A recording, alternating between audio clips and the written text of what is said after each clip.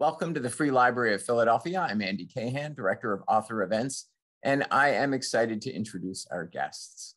Legendary playwright, screenwriter, and actor Harvey Fierstein is the Tony Award winning author of Torch Song Trilogy and La Cage aux Folles. He also won Tonys for his performances in Torch Song and as Edna Turnblad in Hairspray. And he wrote the books for Newsies, Kinky Boots, and Casa Valentina. His play, A Catered Affair, was nominated for 12 Drama Desk Awards, and he has appeared in dozens of films and television shows, including Mrs. Doubtfire, Independence Day, Cheers, and The Good Wife. As if that weren't enough, and it's only scratching the surface, Fire revised the book for the forthcoming Broadway revival of Funny Girl, and now he's written an instant New York Times bestseller, I Was Better Last Night. But tonight, he'll be in conversation with Catherine Cohen, who hosts a weekly cabaret show at Alan Cumming's East Village venue, Club Cumming. Catherine recently published her first book, God, I Feel Modern Tonight, a comedic collection of poetry.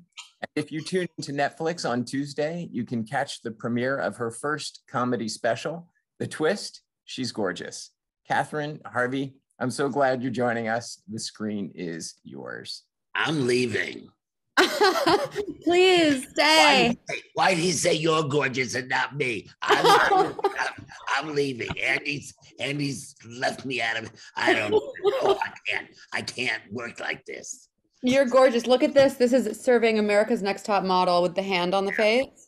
Well, I yeah, people it. ask why you put the hand on the face because it covers everything else. um, thank you so much for joining me. I'm so excited to chat with you. It's such an honor to meet you. I have you. to tell you, I have to tell you, Hairspray was the first musical I ever saw on Broadway. Oh, was it? I went home and I sang Good Morning Baltimore in my Houston middle school talent show. I had to, I had to. I loved it so much. And um, I've been curled up all weekend with your amazing book. Look at this, stunning. And I, I was telling Andy, it feels it's so warm. It feel it made me feel very taken care of. So funny, and the way you approach the the light and dark moments with such ease. It was just it went by too fast. I need more. Well, yeah, there there always will be more because I got a typewriter. Yeah, there we go. There we go. If you ever need, I have a typewriter. We can we can take care of this. No problem. I said, I said, um, you know, because they're already they are hocking me a Chinik uh, about whether to, you're you're Cohen, right? So you understand if I speak Italian, like hocking you Chinik. Um, or, or, no, you don't speak Yiddish. Uh, here and there. No Yiddish. Oh, okay, means uh, hock me in Chinik means hit me in the head. Okay. They've knocked me in the head, so they're, they're hocking me in Chinik. They're making me crazy. How's yeah. that? Making me crazy. That I can understand. Yeah, okay. They make me crazy. They keep saying, you know, the, the book is a, a, a New York Times bestseller in, in a week. So you you, you got to have another book in you. And I said, well, I do. I said because um, I did. I didn't write very much about boyfriends in this. I have um, a long list of of um, of, of, of of victims, and um, so I thought, you know, maybe I would just do a book just telling stories of of the men in my life, and I thought I'd call it Bottomless.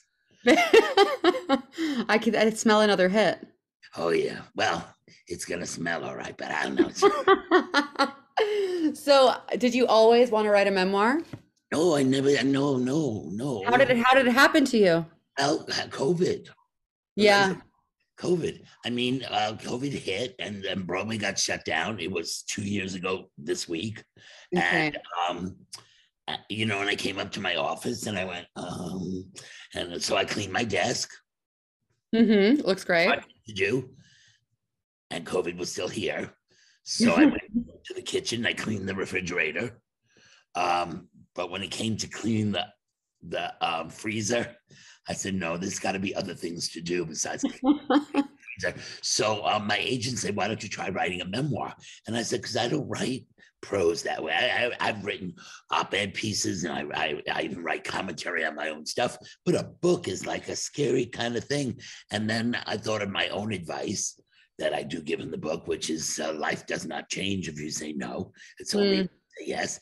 And I thought, who's gonna see it? It's a, you know, it's a computer, it's a keyboard. I can sit here and I could type and stuff, and nobody's ever gonna know that I did it or I didn't do it. So um, I started writing, and I wrote the, the not the preface, but I wrote the first story that's in the book, the one about being uh, in second grade and wanting to be the evil queen, Mhm. I'm cast as a king. So I wrote that story, and it's about how Philomena in my second grade class got to be the evil witch and I had to be the king. And so I wrote that story and I sent it to Philomena because we've been friends since kindergarten. We're still friends Amazing. now. And I sent it to her, figuring if it meant anything to her, maybe it'll mean something to somebody else. That's usually the way I figure things. If it means something to someone, it'll mean something to someone else. So I sent mm-hmm. it to her and she sent back the photograph that's in the book Oh, it's an amazing photo. yeah, of me at seven years old in in drag, and she had kept that photograph all these years. And so I said, okay, if it meant something to her, let's Mhm. let's keep going. And so we did, and uh, And here we are. and here we are. Many chapters later. I love the title so much. I was better last night. Is that something you've always felt? Because I think you're getting better with age. Well, it's it's it's you know it's a, something that theater people think about. I was better Mhm. last night because um, you know your friends come backstage uh, after a performance, and you always think, oh, if you had just seen it last night, last night I really, oh, I was right on it. Oh, I was right on. Of course, people only see the performance they see, and they never know. You know, they and and they can't judge one performance from another. You know, it's like they'll if they're nice, they'll nod But- Mhm. so it doesn't mean anything to them. So, but but it means so much to us who say I was better last night. So that's why I called it that. But I also used to think that that was the absolute ideal um, uh, saying for a, for a tombstone. yes. You know, is it not true? You know, once you're buried, you're probably not getting any better. No, that's kind of the end, isn't it? Yeah, I was better, but but I, I I've since you know decided that that uh, I'm probably going to go the um, the um, Lou Grant way. Remember Lou Grant from the Mary Tyler Moore Show? And Oh, yeah. yeah, you're so young. I'm talking. It's like talking to my. It's like talking to. I have I have underwear older than you. But uh, uh, Lou Grant on the Mary Tyler Moore Show, they said, "How do you want to? How do you want to be buried?" And he said, "When I die, just put my hat on and stand me up in the garbage." I kind of that way. yeah, I want to be thrown sort of near a tree, I think. Oh, is that what you want? Just not, Yeah, not something. even covered over with leaves. Not even covered Yeah. over with leaves. No, just near, just something like that. But I wanted to ask you because you were talking about, you know, saying yes to life versus saying no. You, you have so, you go over so many projects in the book. You're working at a million things at once. How do you know when you want to say yes to something? And how it has there been an occasion when you have had to say no and how has that affected you and did you regret it or just yeah, I'm curious about your process. I, uh, um, the one thing I don't want to do is regret. Yeah. I have found that regret is much harder to deal with than failure. Failure I can deal with because Mhm. failure means you tried, you did something, and even if you're absolutely heartbroken at failure, you know that over time it will become a funny story. You'll, you know, Totally. It, it just but regret never turns into a funny story regret Mm. is just regret so i really try not to regret stuff um just before we got on this optical illusion Mhm. uh, i still don't believe this really exists I'm not real. I'm they I they they robot. I think half of this is like leftover drugs from the 70s. Um, but just before this, somebody called me and offered me something, something big too. And um, and I thought, how? And I have to make up my mind rather quickly. And I thought, how am I going to make up my mind? My mind is so filled with uh, uh, other stuff I'm doing right now because I've got Right. the book just launching. Funny Girl is in final rehearsals. It, it moved into Oh. the theater today. Or no, I'm so excited. tomorrow they move into the theater and start rehearsing on the stage and i've got um uh, uh, a lot of this stuff going on and then uh, somebody's developing a tv show for me i don't it's never gonna happen um, but i've got i have a whole bunch of things going on at once and i said so how do i now decide about this because i don't want to it's kind of an exciting thing so um sometimes what I do is I just call a bunch of people. Yeah. I call a bunch of friends and see what they have to say. Um, not that I ever take anybody's advice, but I, but I think it's interesting to see what their first reaction is. So I called my brother, and he said, "Absolutely not," which uh-huh. made let's keep going. Uh, then I called, I called one of my agents, my oldest agent. When mm-hmm. when he and I met, he was in the mail room at William. Wow. I was his very first client. Oh. So I called him. He said, it's a good idea. I thought, okay, maybe I shouldn't do it. And then, um, then I called a producer friend of mine, and she said, let's not throw this away so quickly. Let's think. Mm. And so that's where I am. So I'm still, we're, we're one yes, one wow, no, one let's think. I think, um, it's I only think, an hour ago. I, I, I, do you want my advice? I think, I think yes, it sounds like, an, I think it sounds like an amazing opportunity. see that? See that? so we will think this through. And that's sort of the way you have to do it. You know, like when I was offered Fiddler on the Roof. Oh, um, yeah. Well, you know, it's like I said, I had just finished two years in hairspray yeah. and really wanted some time off. And right. I wanted to just write. And because I'm a kind of a hermit, I like my really quiet life. And then in the theater makes you a very public figure. And so I said, Oh, do I really want to take it on? So I called Jack O'Brien, the director of Hairspray. And I said, Jack, what do I do? And he said, very wisely, he said, You either do it or you spend the rest of your life telling people that you were offered it and they go, Yeah, sure. Oh. You sort of had to do it, otherwise, people wouldn't believe it. and I'm really glad I did. And had I Thank not done it, did. and had I not done it, I would be regretting it now. Totally. You know, you, you talk a lot in the book about how you never thought of yourself as a Broadway actor or performer. Was there a moment, you know, you write about the rubber band moment in the book of realizing you can support yourself and you have enough money, you've made it. But was there a moment when you felt like, oh, I'm an actor, this is my thing? You know, most showbiz books start with like you know and then i was a kid and i went to the movies and i looked up at the screen and i said that's gonna mean me someday. Yeah yeah yeah. Me i never wanted to be a writer. I never wanted to be an actor. I wanted to be an artist um, but artist is um, is a 1950s uh, word for gay. Oh, he's artistic. Oh, so so being an artist was fine with me. Um, and i didn't think i was a very good artist but I went to the High School of Art and Design, which was really a vocational school. Mm-hmm. So we mm-hmm. learned to do paste-ups, we learned to cut mats, we learned to print photographs. They taught us all this technical stuff. And I knew that in the world of art, I may not be Andy Warhol, but I could work for Andy Warhol and pull silk screens and do stuff like that. Mm-hmm. So I thought that's what I would be, is I'd be somewhere in the world of art. But once again, just having people ask you, you know, I had this friend in high school whose mother was starting a community theater group. And she said, Can you get a bunch of the kids to come down to the church? Because um, they had no money for posters. And um, I'll buy some magic markers and some cardboard, and you'll all make signs, you know, advertising the show. And so I said, Sure, I'll go down there. So we went down. We got, you know, being high school students, we got stoned on the smelling the magic markers. And they said, You want to pull the curtain for the show? And I said, Yeah, sure. And the next thing I knew, I was in theater. You know, I was in community theater, but that was theater. And um, and that's the way my life has gone. It's it's like I was raised by Ellen Stewart, who is La Mama. For mm-hmm. many of your people would know La Mama at Experimental Theater Club. Definitely. And that's where I began. And Ellen was was my spiritual mama, and I we were together from I was 16, 17 when I met her until her death. And uh, and she taught me to always say no. Mm. Say no. When somebody asks you to do something, say no and then think about it. If you change your mind and say yes later, you are a hero. You've just made them so happy. Mm-hmm. But if mm-hmm. you decide to stick with no, you haven't disappointed them anymore. By the time you've thought about it, they're already over it. Right. And I thought, that's not right. That's not right.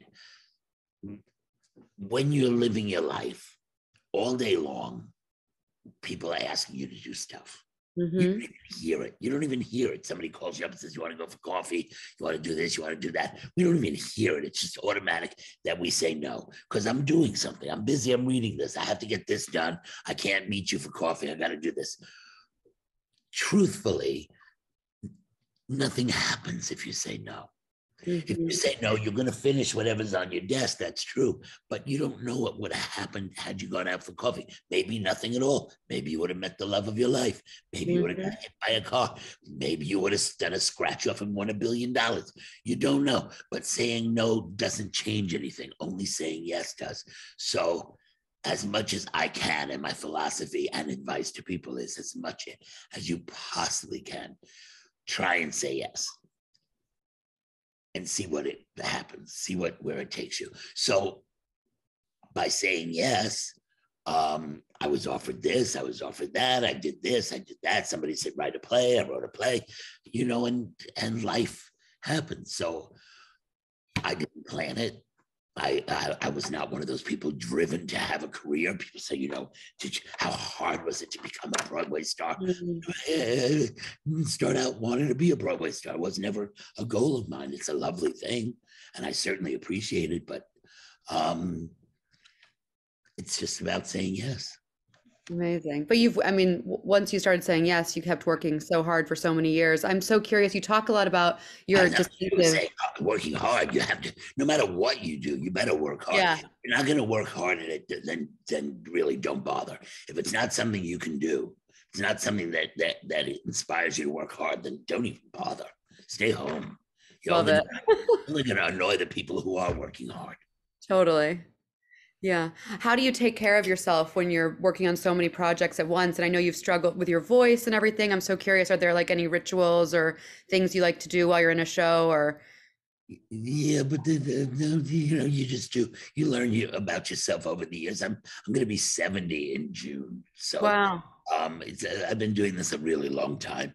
So you you know you figure yourself out. You you know who you are. You know how things feel. You know what's right for you. What's you know sometimes you make mistakes. When when I was doing Bella Bella, Mhm. uh, this play that I wrote about Bella Abzug.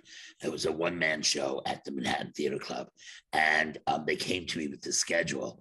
And I said, you know, it's only 80 minutes long. And I can knock off two of these a day for several days in a row and then have an extra day off instead. Well, by the time I was done, my ego just really said I can do anything. It's only 80 minutes. Uh, and um, and I put together a schedule that nearly killed me. I mean, I, Oh my God. yeah, I ended up on steroids and Oh no. oh, it was a mess. I actually had to miss one performance, and yeah, because I, I I had so messed up that schedule that I ended up, I think it was 14 days without a day off and double shows every day. It was just. Oh my God. Insane. So yeah, so so your ego can lead you in the wrong. That's one thing that can lead you in the wrong direction. If you- Totally. if you just believe in yourself too much, you can get in trouble. And I, a couple of times I've gotten myself in trouble that way. But but um, but I did learn from that, and I would never do that again. Wow. And when you were growing up, was your family always supportive of your artistic aspirations? I know you and your brother are so close and Yeah. such a, so nice to about your relationship. Well, my father, my father called us the bandits, which is Yiddish for for crooks, Um, because he never thought that either one of us, my brother or I, could earn a living. Uh, Wow. he was sure we would never be able to earn a living. He was just so sure we would just starve in the street. He used to say to us all the time, "You do know I'm not leaving you anything, right? You you, you know when I die, nothing. So you really need to get a job or do something." Um, he really didn't have a lot of faith. He did live long enough to see me um, make more money than he was making per week Oh. But um, but um and and my but yeah yeah. So my my family was very very supportive of whatever. My mother loved the arts. Mhm. loved that i went into the arts um and my brother was in the arts also but he was smart enough to go back to school and get his degree as a lawyer and he became a lawyer which has allowed him to do all kinds of stuff um including running my life. My brother does run my life which is which Oh. is good because who you gonna best. well, who are you going to trust? You know, it's like I say, if he bankrupts me, you know, his his kids are going to get whatever I have. So if he bankrupts me, then his kids get nothing, and I'm going to move in with him. There we go. So it You makes more sense to make sure I don't I don't end up bankrupt. Sounds great. How I'm curious, reading about when Torch Song became a hit was so you was so beautiful in the book. What was that like for you when all of a sudden it was, you know, you thought it was going to shut and then everything just the world opened to you. What was that like? I didn't think it was going to shut. I hoped it would shut. okay. The show we had moved the show from off off Broadway to off Broadway. where Mhm. it became this unbelievable hit. And I tell the story, and all these stories are in the book, but I tell a story in the book that I came up out of the subway one day and saw a line from the box office on Seventh Avenue around that went wrapped around the corner past the liquor store and disappeared around the second corner. And I thought, oh my God, I'll never get out of this. This thing it. It was a small theater, so we could easily sell it out. And and I and I was writing La Cage aux Folles already, and I had finished a play called Spook House. So I had these two things I wanted to go off and do, but I'm Mhm. stuck doing Torch Song, and I'm thinking, I'm like, oh my God, how do I get out of this? And they came to me and asked if we would move to Broadway, and I said no. And then I thought, you know what? It'll never make it on Broadway. So I'll let it move to Broadway. I'll get some money because they have to pay you to go to Broadway. I'll get a Broadway credit, you know, it'll say on my resume he was on Broadway.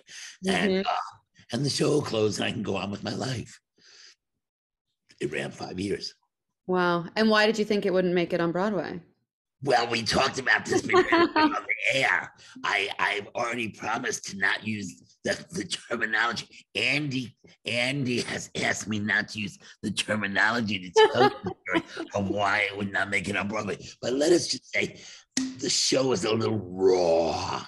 Fair This enough. Song was Torch Song was not your your your average Broadway fare for the time.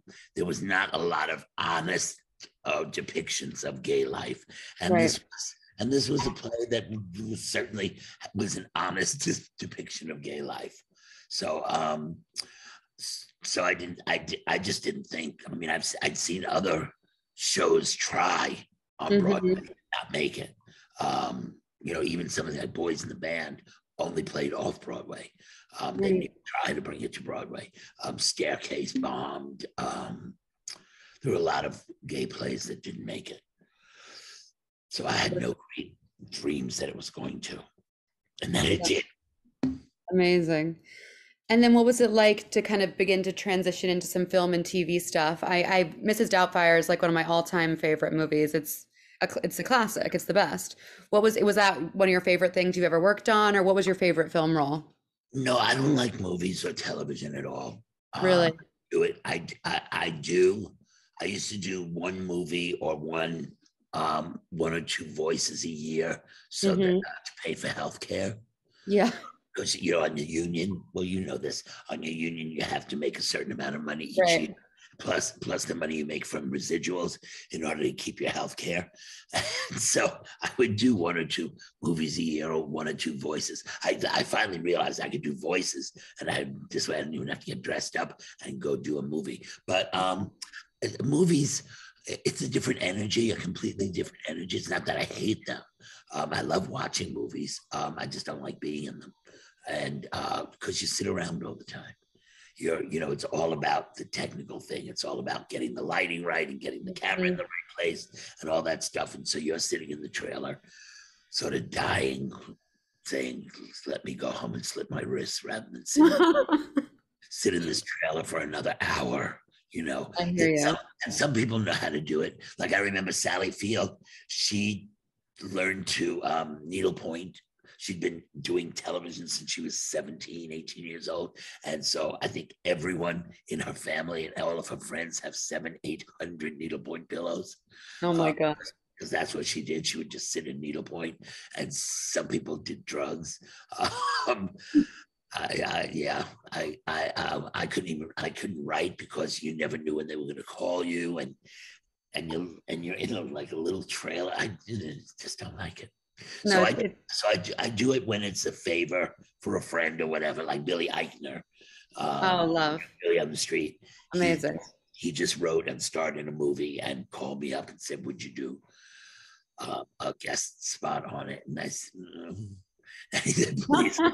and I said, "Okay, if you get rid of me in one day, you make it a tiny role so I can come in, shoot one day, and gone." And um, and that's what he did for me, which was very sweet. Of course, I still had to get up at three o'clock in the morning to get Oof. there and didn't get out of there till 10 at night. Like I said, that, you know, you do a Broadway show, the show's two hours long. You're in, you're out. Are you eager to get back on stage? Um, maybe, I don't know. Um, it's got to be the right thing. Yeah. Um, like I said, I don't do that's that's not just who I am. You know, I don't just write, I don't just act, I don't I don't just make quilts, I don't just paint. Mm. Um, I, I- I do all kinds of things and they all interest me. So Totally. and, I, and, I, and I'm also a hermit. I do have no problem of just locking myself in my house with my dogs and you know seeing my friends and um, so uh, unless it's something I really want to do, I have no need to. You know, there are people who just like, what's next? What's next? You know, Right. That's just not me. Yeah. Well, I'm so excited to see Funny Girl. What was the process like of revising the book? No, it's difficult because it's been seven years. Wow. They called me like I think like six years, maybe six years ago. They called me, David Babani and and um, Sonia Friedman, these two wonderful English producers. And Mhm. David Babani has a small theater in London called the Menier Chocolate Factory, where they had done Torch Song, they did *Like La Cage, and they're fabulous production of La Cage. They do these like shrunk down versions of Broadway musicals, and many of them have been very successful. And anyway, they the, uh, we were already friends, and they contacted me about Funny Girl, and I thought, you know, here's a show that hasn't been revived in 50 years. And I Mhm. said, let me take a look at it. So I, I got the script and I read it, and I saw something that I'd heard all the stories about Funny Girl. They wrote a show and they started putting it up, and I think they went through two choreographers, three directors. People were quitting left and right, book writers, everything else. They were out of town. They were in all this trouble. And I know what that feels like to be out of town and in trouble. You just panic. And what happened with Funny Girl was they just glued it together as best they could. They had Barbra Streisand. She was this rock, you know, she was going to give this incredible vocal performance and be funny also. And and so they basically just threw away the show and said, let's just stick her up there. We'll let the whole thing ride on her personality and and you know, and and we'll get away with it with that. And they did. That she was phenomenal in the show, and they got away with it, and it became a big hit show. It ran a couple of years, but it was the Barbra Streisand show. Mhm. Uh, and everybody did it in her mold. They they imitated what she had done. So it wasn't about this is a show about Fanny Brice, who's a real Mhm. person. And it was telling the Fanny Brice story, but it sort of became the Barbra Streisand story instead. Right. And so I looked at it and I said, well, we're not under pressure right now. I've got the time to look at the book. I have the time to to work with the director and see what what he thinks. And and so we did that. And we we we we did a lot of it. Um, the people who own the rights, uh, you know, the, the the the children of the people who actually put it together in the first place, they were a little nervous about letting us change stuff. They held me back a little bit, um, but we created a show, we put it on, and it was a huge hit at the Menier Chocolate Factory. We moved it to the West End, which is Broadway. Uh, it, it ran a year. Then we sent it out on a, whole year tour, where it did fabulously well. And then we were supposed to bring it into New York, and COVID hit. Right. So we had to sit on it for two years. And then I got the call saying, you know, COVID wo- won't last forever. Let's get back to work on it. So all of a sudden I was back at the computer looking at it again. I got to take another look at it. I got to say, okay, now we're doing it not for an English audience, but for an American audience. Um, the the creators of the original show trusted me a little bit more because Mhm. knew I had made it into a hit in London, so they let me go a little further. And so I, I I'm very pleased with what we've done. We'll see that you know in the long run, look, we we people who put these shows together, we can do whatever we want and and and make ourselves as happy as we like. It's the audience. The audience has to come in and have a good time. If the audience doesn't come in and have a good time, don't mean nothing. So in the long run, we'll see what the audience thinks, but I think they're gonna have a good time. I cannot wait. I love Beanie. I think it's going to be fabulous. Well, Beanie's a lot of fun. And, and the other thing is, you know, the, the fun part for somebody like me is I don't want the audience to ever know what I did. Like you're Mm, gonna come in, you're gonna see Funny Girl, and you shouldn't actually be able to tell what I did and what I didn't do. Did he restructure that? Did he put that song? What happened to that? You should not even know what I did. You should just see the funny girl. I mean, it's like Newsies, you know, the kids who fell in love with Newsies when they were little kids. They came to see the show.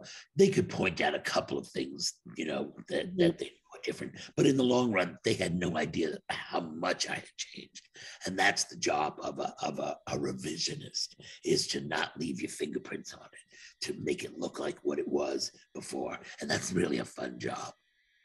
Wonderful. I'm curious, you know, you started in such avant-garde, experimental kind of downtown theater scene, and now you do all kinds of things, you know, mainstream Disney musicals, all kinds of things. What's it been, what's it been like, you know, writing for such a larger audience? Like, how was that transition for you? it's not that you know it's you're always writing you're always writing for the truth and you're not Mhm. no i mean uh, do you do you do you do you have expectations it also it depends on what you're writing you know if i'm writing a play and i'm just writing a play myself i don't think about that at all. I'm just being true to the characters. It's my my job is to present the characters and the story as best i can and i don't think of the audience. The audience has to catch up to me. When you're writing a musical, you can think that way, but then you've got a composer and a lyricist, and then it's the three of you doing this work together, and then all of a sudden there's a director, and the director's brain comes into it, and you know, and it, and and at some point, then you've got producers and everything else, and at some point, I said this to to somebody who was writing their first musical. I said this the other day. You know, it could be your sperm and somebody else's egg and somebody else's and somebody else's womb. But in the long run, that baby is that baby. And that baby Mhm. belongs to itself. And it's not yours and it's not one other person's. The baby is the child is the child and it will grow up to be who it needs to grow up to be. You can only support it. You can take care of it. You can help it grow. But in the long run, that child is going to be that child and you and you need to to let it go so so no you you don't think of it the way you're thinking it at all your brain just doesn't go there Totally. And how does it feel having the book, This Child, out in the world? well that's different because that is just that's more like writing a play because that Right, is right. and i mean the, the good part is you get it off the, your back you get all those stories out of your head Yeah. Uh, the bad part is when somebody says, well, you blah, blah, blah, blah, blah. You go, well, that's not true. Well, I read it in your book. That's the bad part. Is you can't lie about it anymore. But um, but beyond that, I- I, don't know. It's, uh, it's also only been out for a little while. Right. I let very few people read it when I was writing it. Very few of my friends, even they, were- you know, I would let one friend at a time read it because I wanted them to. I wanted them to have the experience of reading the book, and I didn't want them reading pages or whatever. You know, some people let you read all kinds of stuff. I didn't want that, so my friends read it. You know, like two weeks ago when I when I started getting the copies of the book. Um, and and it's funny some people in the book i've never heard from again i guess that's bound to happen That's Um, life. That's exciting. and you have to think about you know why maybe they're adjusting to what i said you know i'm Mm. telling my i'm telling my point you know when i wrote the book before i wrote the book i called shirley maclaine um, Mhm. who's written nine i think nine autobiographies Wow.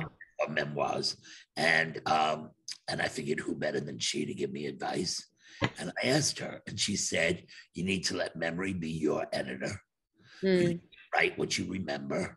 Um, whether it's true or not, it's it's what's in your heart that that's important. And um, and I said, Well, I care less about myself. There's a lot of people in the book, a lot of that are dead and um, you know, died very young uh, because of AIDS and other stuff. And um, and I said, I, you know, I, I want to be true to their stories. And she said, you can't do that. She Mm. said, you can only write about how they affected you. If you're really truthful, you're you're still writing about yourself, even when you're writing about them. So just leave it at that and and tell the truth as as best as it, it comes up for you, which is what I did. I then changed a lot of names. Mhm. Um, a couple of people asked me not to change their names. Um, and and yeah, but Yeah. most I've heard mostly most of the people in the book have really enjoyed. A couple of people are pissed that they're not in the book. I, yeah, but I'm sure it's it's an honor to be included. I know, but it's you know it's it's like you can't name you know you just can't keep naming names because the reader goes, should I remember this name? Should I never have? Who is? That's You- true. you don't want to do that. You don't want it to turn into a, a, a thing where you're just like jerking off your friends by by naming names. I mean, there's one there's one chapter that starts, I think, um, something like Jill Bray. Jill Bray was a drug addict and blah blah blah blah blah, and she's never mentioned again in the entire. but um, it was so important to start it out with with the personal, with there was this person hmm and everything came from this person. It was just, you know, artistically, it was important to have her name. Um, but in other things, it's not, you know. Yeah. Yeah, but I did, I did get some complaints that they're not in the book. The other reason I put in a, a long acknowledgement at the end.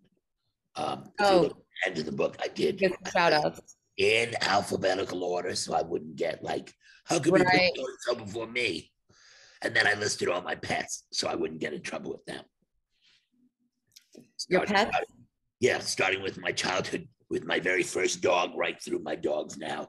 Every one of the my pets of my life. Uh, uh, Oh.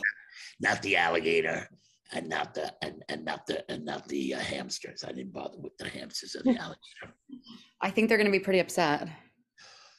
They did. It is what it is. Have you kept journals or diaries throughout your life, or is this truly just from from the heart?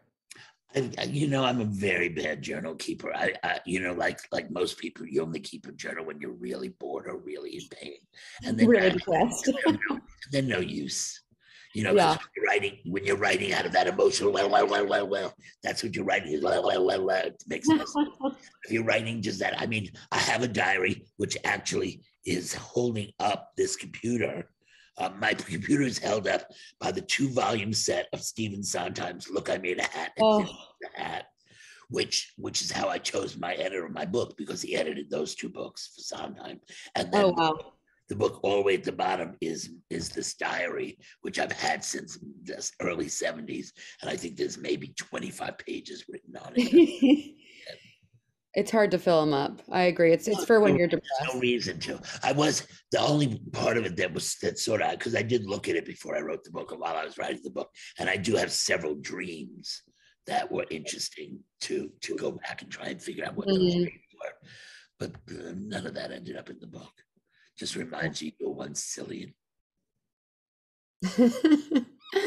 What I think we're almost gonna head to the Q and A, but I'm curious, what good. advice what advice do you have for young artists starting out in um in the world right now?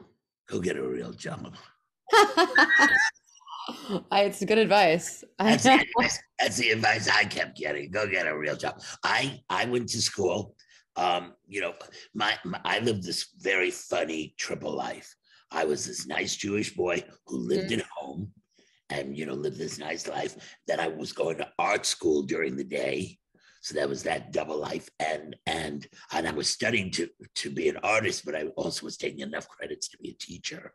All right. And then at night, I was in this the underground theater and art movement. So what was really funny was I'd go to history of art and my teacher would lecture about somebody, and then I'd be spending the evening with that person and say, Oh. I heard the lecture about you today. And you know, so I knew these people. So I didn't even take tests to to to to get out of college. I just gave out tickets to my shows or introduced. I mean, you know, how many people do you know uh, who knew Anais Nin? You know, it's like That story is insane. Yeah, Do you still read tarot? Well, no, no, no. You didn't know. You know where the tarot cards are. I told the truth of where they are. Wow, really? Never again. They were buried. They were buried by the uh, Alice in Wonderland statue in Central Park. That was amazing. You know, so Fabulous. Well, thank you. Should we turn to some of the Q and A yeah, I questions? want to do what they want. If y'all are watching and you want to ask Harvey a question, just feel free to type in the Q and A questions. Let's see what we what do we have here. Mm, Maybe Andy's wife is back. What, yeah. Let's see. This says, um, Topher asks, can you share a memory or two about working with and knowing Robin Williams? Uh, yeah, I mean, once once again, you know, it's it's one of those things. There's more subtlety uh, to it in the book, um, Mhm. but but I I loved Robin. I loved working with him. He was uh, he was uh, a very um, uh, obviously a genius, but he he- was very disciplined. You know, you think of him as being totally undisciplined, but it takes a lot of discipline to train your brain to do what he did Mhm. to just do that that that stream of consciousness that's a lot of work you know he he admired jonathan winters and and um and learn and learned from jonathan winters to to do that and then he studied that and and trained himself and he became this absolute master at at stream of consciousness and it was fascinating to watch um but obviously that wasn't the the best parts of him those were the private Totally. Another listener, viewer asks, how have theater audiences changed throughout your career? Oh, uh, very, very different. Oh, A, there's a story in the in the book about about Torch Song specifically. When we opened Torch Song on Broadway, the audiences were probably 80 to 85 percent heterosexual, hmm. and then the the gays that came in, the 15 percent of gays that would come in, were sort of like you know. With hoodies up, you know, and they're sneaking into the theater. Nobody should see them going into a gay play, um, Yeah. or, or you know, or bringing a date, you know, female date with them or whatever. There was a, there was a danger. There was a, um, there was a, a, a- it, it was the, it was like going to the black market. It was Mhm. it was something dangerous and, and wonderful and and sitting there and and hearing something so revolutionary of somebody demanding respect and all that it was um I, I it was dangerous i guess that's that's the best word for it uh they revived the show in 2018 um, and I'm sitting there in the audience watching the audience come in, and now it's 85% gay Mhm. they're not walking in hidden. They're walking in with ownership of it. They're walking in with pride. They're walking in bringing younger people with them to see what they saw, or younger people who knew about it coming to see what this was that they'd heard about years ago. And the show didn't even belong to me anymore. It belonged to the community. It was theirs, and they had ownership of it. And um, and that was very fascinating. And still, and still in the third act, when the mother came out, they all turned into five year olds again. Mhm. Just the power of mothers over us. Totally perpetual. Uh, speaking of, another question we have is looking back at the beginning of your professional life, have LGBTQ plus representation and depiction in film slash stage come as far as you would have thought they'd come? You know, we all we have stories to tell. I, I don't like thinking. I don't like thinking that anybody can ever represent the community. Nobody can. Mhm. I can't represent the community. You can't represent the community. And it's an absolutely stupid thing to look to say, I'm going to see Brokeback Mountain because it's going to represent the LGBT. No, it isn't. Right. It's a story. you Yeah. Nobody stops Neil Simon and says, What's it like being a heterosexual? And Plaza Suite, what does that say about heterosexuality? You know, it's so Totally. it's a stupid idea to even think that someone could it's not it's and it's not our job as artists our job as artists is to tell a story to Mm-hmm. entertain maybe to to enlighten but to tell a story that's hopefully human enough that other people can identify even if they're heterosexual uh, and and uh so yeah so i don't think this idea that a gay you know that i mean it's it's it's absurd Totally. Well, I, I went back and watched. I'd seen before your interview with Barbara Walters, where you give the you know the famous responses about you know I assume everyone's gay until until proven otherwise. And I thought what what you wrote about the actually book was- right. Yeah, I, I think I think I agree with that for sure. Um, all right, we have time for probably one or two more questions. Let's see. Oh yeah, you spoke a lot about recovery and sobriety in the book, which I thought was fascinating. Could you comment more about the role of recovery in your life that you write about in the book? Is what wants someone. Yes. Yeah, the well, the thing is, um, um, everybody has a different path with with um, with abuse, uh, um, and in my business, you know, in in, in the arts, and um, it's like who isn't in recovery? if they're not in recovery, they're actively gonna gonna get there. Uh, but, uh, so it's not such a strange thing in my world. But I had a lover who was um, who got sober first, Mhm. so I went to Al Anon. So when it was time for me to get sober, um, I already had the 12 step background. I already knew exactly what I was walking into. Um, it- it- there was no great surprise there. So when I went to my first AA meeting, which was you have to you have to read the book because it, because it, it's it, because it doesn't happen overnight. It happens over years, you know. But by the time I stopped drinking, I was drinking half a gallon of Southern Comfort a day, uh, 100 proof. So you got to work your way up to that because that will kill you if you try doing that on one day's notice. Um, so by the time I got sober, I was ready to just give it up. I give I my I, I don't not, I don't mean booze. I mean give up life. I was, my life was over. My life, my choices, my life had led me to the end of my life. So I was willing to say, you take it over now. Um, and, and I have lived these 25 and a half years, in August, it'll be 26 years.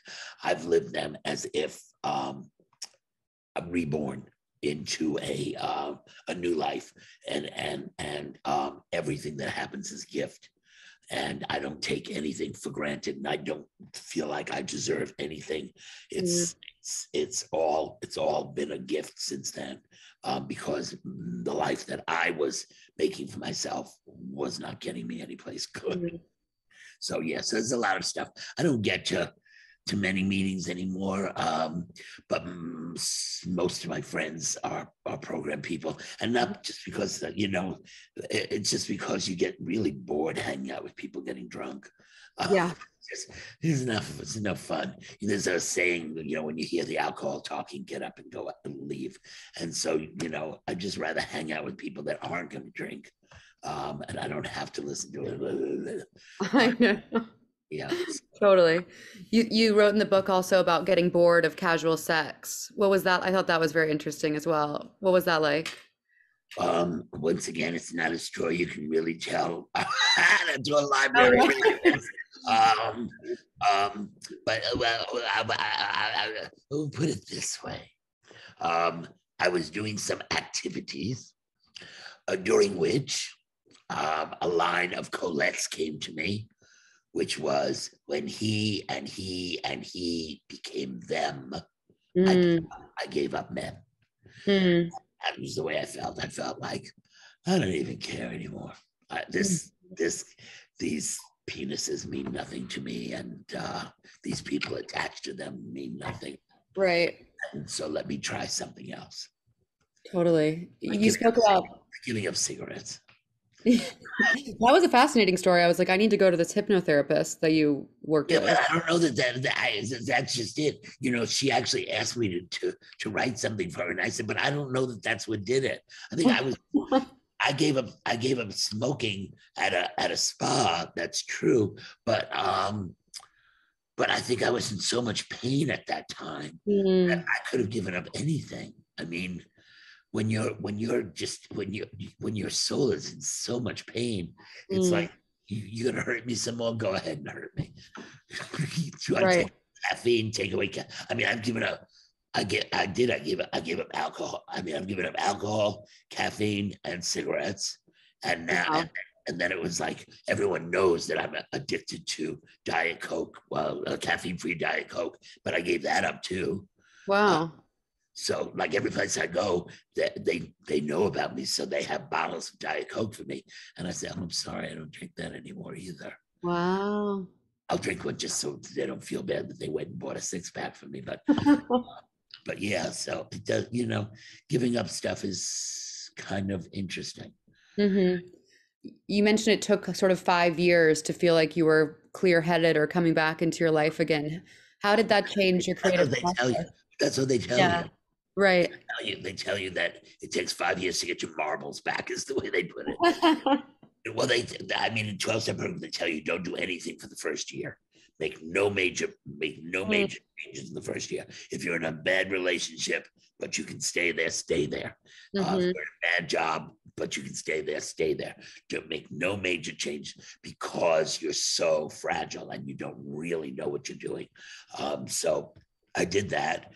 Um, and then, you know, and then I, I sort of, I, I took some jobs and stuff like that, but it did just worked out that at the end of the five years, there was hairspray. You know, and it was like, it was kind of like magical. I went, oh, here's my marbles, and here's the next real beginning of the next chapter of my life. hmm You speak about being an atheist, but do you believe in fate or that things happen for a reason? Complete random. Yeah, absolutely. I, I love, I, you know, I pray, but I don't pray to anything. Right. There's nobody sitting in a chair listening, and there's no heaven, there's no hell. There's, it's just too too random. It's too stupid to think. And I mean, how egotistical do you have to be to think that you go on after this world? This, there there's, a, there's a heaven filled with all these people. And I say, well, if there is a heaven, you know, who do you talk to? I had a lot of friends. I, I wouldn't have time to talk to all of them if they if I had to. And you Yeah. know, and if you're a and if you're a little kid when you die, you're three, you're gonna stay three years old for eternity. And your mother and and if you remarried and the second marriage was better, you're still stuck with in the Jewish religion, you know. If this isn't enough to prove that they're just full of crap, in the Jewish religion, the the you know heavy duty uh, Hasids believe that if a woman is a great wife and uh, you know and, and takes care of the house and keeps kosher and and obeys her husband and does everything the way she's supposed to, that when she dies, she gets to be her husband's footstool. Oh my God. Yeah, Hell. ain't that enough to send you out drinking? That's tough. That's tough. Exactly. You can't believe in that crap. I, I don't know. I don't know. I don't know what I believe anymore after hearing that. Oh, okay. Well, you That's know, nuts. Who knows? But I, you talk in the book also about you're- seem to be a smart kind of person. I bet you know. I love that, and I also love that that um that Ron Reagan Jr. commercial. You know, for for the uh, freedom from religion. Have you seen that? Mm-mm.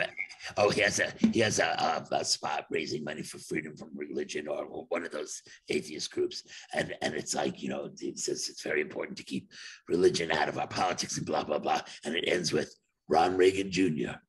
not afraid to burn in hell. That's such a great way to end a commercial. That's a great uh it's a great headstone line as well. Yeah. you Don't, I'm, look me above. I'm, in, I'm right here. I'm curious about you talk about having this major surgery and I would you call it like a near death experience or just what were the emotions you felt after kind of coming waking back up? I was so curious about that. Um, that was the, the, yeah. That um, I, I had um, uh, um, change of of um of uh, valve. Yeah, that's what it's called. It's called a valve. Valve. Knew I could figure that one out. I had a change of valve. So basically, they they kill you. You know, they shut you off so they can do the work they need to do, and then they put you back online and bring you back to to life. And um, and I was angry when I when I woke up. I Mhm. was angry. Like, what the fuck? See, I had promised you had to bring up that stuff. And we're in a library. We're in a library, and now we said something. I'm So- offended. Yeah, well, I'm, at least it's you. Oh, um, so when they woke me back up, um, I, I, I was, I was really angry. Like everything was nice and quiet. It was over. It was blackness. There was nothing. I knew, I didn't know I was dead. It was just, I would knew I was dead when they woke me up. And I Mm. said, that was so nice. Leave me alone. Um, and you bring me back to where I'm freezing cold and I'm angry and I'm in pain and I've got tubes coming out of me everywhere and wires and um and it and, oh yeah I was really angry. And I and and I spoke to a bunch of other people who felt the same way after having that kind of an operation. And I said why don't they tell you? Why don't they warn you? You're on this you know they they put your brain to sleep right? But you're not dead. Your Mm. brain actually is recording all of that stuff. It's not recording it in a place that you can bring it back but you but your brain knows what's going on in the rest of your body. And and they don't warn you that you're going to have these very strong feelings from your from being vi- so viciously violated um you know they took saws and they cut you you know they and i'm sure there were lots of conversations you really didn't want to listen in on oh my God, about- truly. about you and uh, and they don't and they don't warn you. And i so whenever i have a friend that goes in for heavy duty surgery i warn them. You may have these negative feelings when you wake up you may feel that way it's because you, these drugs are incredibly powerful there was all this stuff going on that your brain knows about. Let it go. Just let it breathe through it. Just remember it's it's not real. They're only feelings. Hmm let and let it all go. But nobody warned me. Crazy. I wish they had, because I just what I my I, my whole concentration was act happy, act happy. If you act miserable and you let them know how you're feeling, they'll never let you out of this hospital. So Mm. act happy. I did everything I could. I the second I could get out of bed, I was out of bed, and there was like a little staircase practice, and I was running up and down that staircase to prove I was doing well. And I wouldn't spend any time in my bed at all. I sat out in the in the waiting room. I spent all my time, made believe I was working on the computer. I couldn't concentrate or do anything, but I Oh made my God. because I just wanted to look normal to get out of there. And it Of worked. course. I got out much earlier than I should have. Good. But, it's- but it's, yeah, no, I came home and friend brought over Chinese food. I was sitting at my dining room table and we're eating. And I said, Oh, s- I'm dripping soup all over myself. And then realized, no, I wasn't. There was a hole in my chest and there was liquid coming out of it. I was still draining. I was still draining. I called the doctor and I said, um, this may not be a good sign, but I've got like a, a cup and a half, like holding a glass under my chest, and this like, oh, that's okay. You're just draining extra. Like it's just saline. Oh, casual. Why don't they tell you that? No one tells you anything. That's why we need your book. Doctors don't This tell has you. got some. You got to read the book. You got you guys. You guys got to read the book. It's juicy. It's you warm. know It's. Exactly. I love it.